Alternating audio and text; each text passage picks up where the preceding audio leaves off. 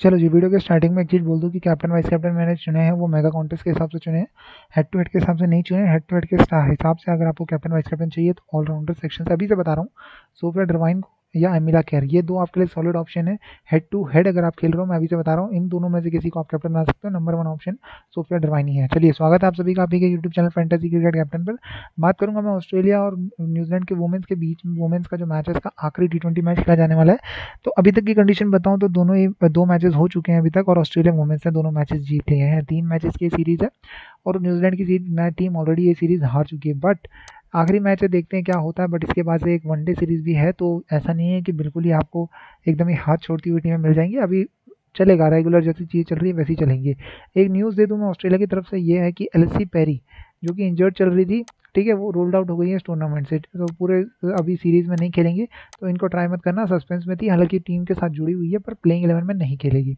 Okay last match में क्या हुआ? Australia women's one twenty nine पर टू बड़ी आसानी से चेस कर लिया ओके कोई दिक्कत नहीं है।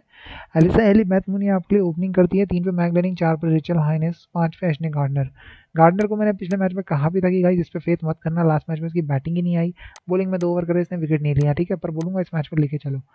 एक चीज़ मैं बता दूँ, इस मैच में मैं टीम किस हिसाब से बना रहा हूँ? इस मैच में टीम बना रहा हूँ, अगर थोड़े रन बनते हैं तो मतलब 150 के आसपास, एक सौ उनतीस और एक सौ अड़तीस के हिसाब से नहीं बना रहा, जैसे कि दोनों ही टीमों के अभी तक कुछ बड़े स्कोर्स नहीं बने।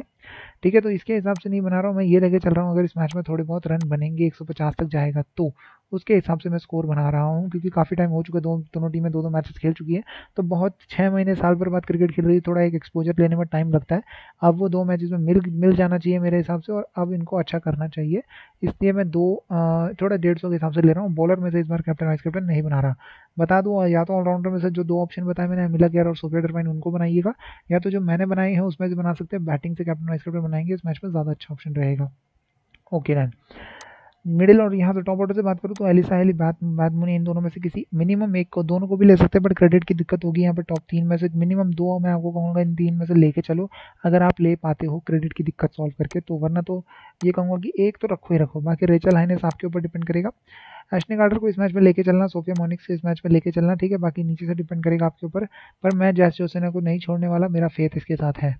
दिल्ली सर ने दो, दोनों मैचेस में लगातार हमें अच्छा अच्छा विनिंग करा के दी है। बाकी इंपॉर्टेंस तो वो, देखो यार, जो चावर ओवर कर रही है ना वुमेन्स क्रिकेट में, वो विकेट ले सकती है, ये बात साफ़ है।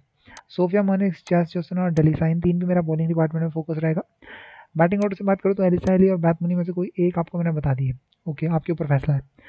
नीचे से आता हूँ न्यूजीलैंड की टीम से सोफेट ड्रवाइन को नंबर वन उठा के चलिए नंबर टू मैडी ग्रीन आपको क्रेडिट की दिक्कत होगी, इसलिए हो सकता है आपको मैडी ग्रीन लेनी पड़े विकेट कीपर में।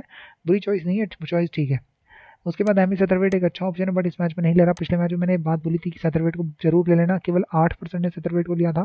बहुत ज़्यादा नहीं, पर तीस रन बना के दिया और मैंने बोला भी था, तीस से पैंतीस रन ही एक्सपेक्ट कर रहा हूँ मैं सतरवेट से, और वही इसने करके भी दे दिया। मुझे सस्ती नौ क्रेडिट में मिल गई थी और एक अच्छा इसने कॉम्बिनेशन प्रोवाइड कर दिया। सूजी बेट से मेरा इस मैच में बड़ा फेथ है। क्यों? क्योंकि ये मुझे ऑलराउंडर के तौर पर खेल रही है। एक से तीन ओवर आपको करा के दे देगी। बाईस रन बनाए पिछले मैच में। बहुत इंपॉर्टेंट ऑप्शन है। टीम की वाइस कैप्टन है। जब तक सोफिया डरवाइन कैप्टन नहीं थी वर्ल्ड कप में सूजी बेट्स ही आपकी कप्तान थी। नीचे आता हूँ। वैसे सूजी बेट्स ऑलराउंडर ही है, पर कम गेंदबाजी करती है आजकल। ओके नीचे आता हूँ। लिया टाउ इनकी मेन बॉलर है अमिला खैर ऑलराउंडर है मेन फोकस रखना इसके ऊपर, बाकी आपके ऊपर डिपेंड करेगा। वापस आते हैं ड्रीम की टीम के ऊपर। मैं ज़्यादा लंबा वीडियो नहीं बनाऊँगा यार, क्योंकि वुमेंस क्रिकेट के बारे में रटी हुई चीज़ें सारी रटी हुई। अभी आपको समझाऊँगा तो एक एक प्लेयर को समझाने में फिर तो मेरे को यार तीस पैंतीस मिनट चाहिए, अगर मैं डिटेल में समझाऊँ। डिटेल में समझाऊँ तो।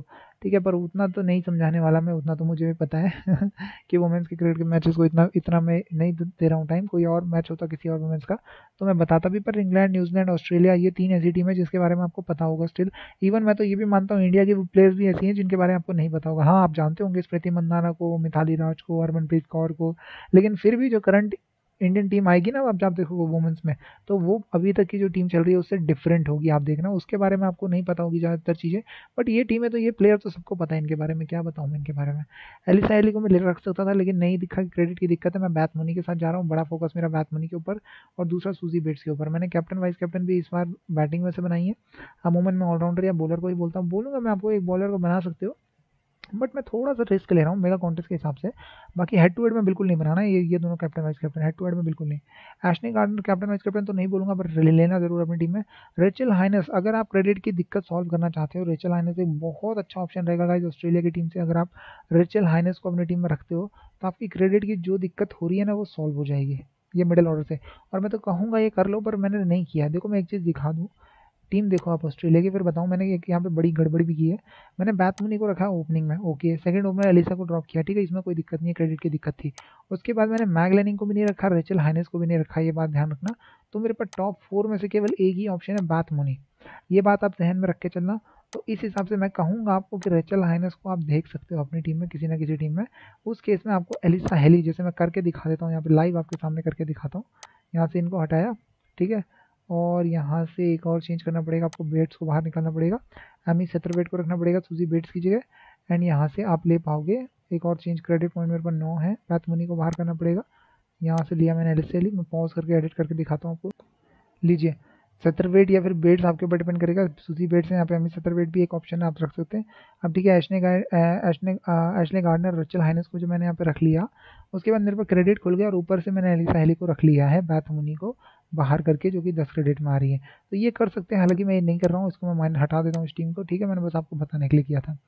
नीचे आता है ऑलराउंडर यूनिट से तो मैंने ऑलराउंडर से सबको बताया सुपर डरवाइन ये तो रखनी ही, रखनी है, इसको कोई सोचना भी मत ड्रॉप करने की। अमिला गैर को रखा और मैं वो रिकमेंड करूँगा, ज़रूर रखें। उसके बाद लास्ट मैंने यहाँ से जास जोसेना को उठाया। नीचे आता हूँ तो मेकन स्कच लिया टाहू और डेलिसा एंड सोफिया मोनिक्स ये मेरी चार ऑलराउंडर है, मैं रिकमेंड करूँगा, अगर आप चाहें। तो आप कर सकते हैं ऑस्ट्रेलिया की एक प्लेयर कम करके न्यूजीलैंड की एक प्लेयर रख सकते हैं ओके कैप्टन वाइस कैप्टन मैंने क्लियर कर दूँ, मैंने मेगा कॉन्टेस्ट के हिसाब से बनाया स्मॉल लीग के हिसाब से बिल्कुल नहीं बनाया. स्मॉल लीग के हिसाब से सोफिया डरवाइन ही नंबर वन ऑप्शन रहेगी आपकी कैप्टन वाइस कैप्टन की.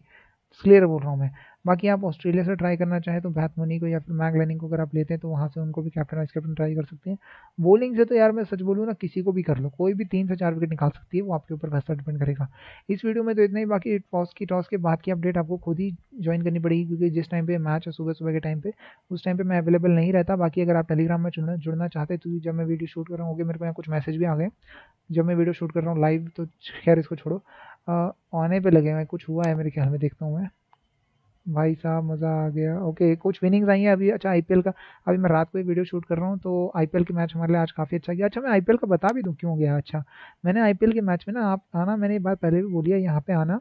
और कल का ये सात बज के तेईस मिनट की ये दो ऑडियो हैं। ये टॉस के ठीक बात की है मैच स्टार्ट होने से पहले की, ठीक है? ये ज़रूर पढ़ लेना, क्या है? सात बज के तेईस मिनट पर सात बज के चौबीस मिनट पर इनको ज़रूर सुन लेना एक बार। अगर आप एक एक्सपीरियंस एक्सपोजर चाहते हो मेरी तरफ़ से तो थैंक यू बाकी टेलीग्राम का लिंक मैंने डिस्क्रिप्शन में दिया ही हुआ है, ठीक है? जिसको ज्वाइन होना डिस्क्रिप्शन की पहली लाइन में टेलीग्राम का लिंक है, आ जाना, जुड़ जाना। पर ये वाला जो मैच है न्यूजीलैंड ऑस्ट्रेलिया का, ये टेलीग्राम में कवर नहीं हो रहा है। और इसके साथ ही साथ बता दूँ फ्रैंकफुट की सीरीज़ में आज कवर नहीं कर रहा, क्योंकि मैंने आपसे एक वादा किया था कि अगर मुझे एक तरफा विनिंग्स नहीं मिली फ्रैंकफुट के मैचेस में विनिंग्स मिली मुझे आखिरी के दो मैचेस में, लेकिन मैंने बोला था कि एक तरफा अगर मिलेंगी तो ही मैं आगे फ्रैंकफुट की सीरीज़ कवर करूँगा। और एक तरफा विनिंग हमें पूरी सीरीज़ के नौ मैचेस जो अब तक हुए हैं पूरे पूरे उसमें से तीन ही मैचेस में एक तरफा एक तरफा वन साइडेड जिसमें हम जीते, तीन मैचेस में जीते बाकियों में हम एक तरफा नहीं जीते फिफ्टी फिफ्टी जीते या फिर तो लॉस हुआ है। सच है तो सच है। ठीक है तो इसलिए मैं फ्रैंकफुट की सीरीज़ कवर नहीं कर रहा और मैं उम्मीद करता हूँ ई e की सीरीज़ जो मैं कवर करता हूँ तो वो इसलिए कवर करता हूँ विनिंग्स आए। बाकी मुझे ई e के टूर्नामेंट पसंद भी नहीं आते हैं, ठीक है, लेकिन विनिंग्स अच्छी आ जाती है ई e से। पर मैं स्टिल अब आगे गया ई के फ्रैंकफुट के कवर नहीं कर फ्यूचर वाले देखते हैं, कोई ईसीएस आएगी तो उसको कवर करेंगे। इस वीडियो में तो इतना ही। चैनल को लाइक शेयर सब्सक्राइब करना है तो रुक जाओ, फिर कभी कर लेना। Good bye guys bye take care thank you